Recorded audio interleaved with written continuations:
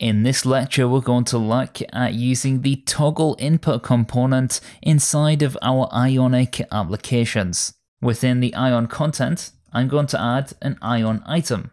The Ion item will have a Ion label inside.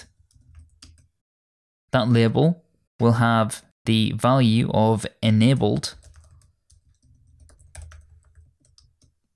and we'll also have an ion dash toggle.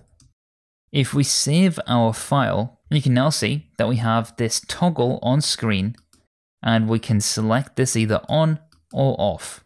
Inside of our home.ts, I'm going to create a variable named the toggle value and that will be a boolean equal to false. We can display the results of the toggle value and also add an ng model to our toggle. If we select our toggle, we go from being false to true, and from true back to false. Perhaps we could display a particular message, such as the toggle is enabled only when the user has selected the toggled value.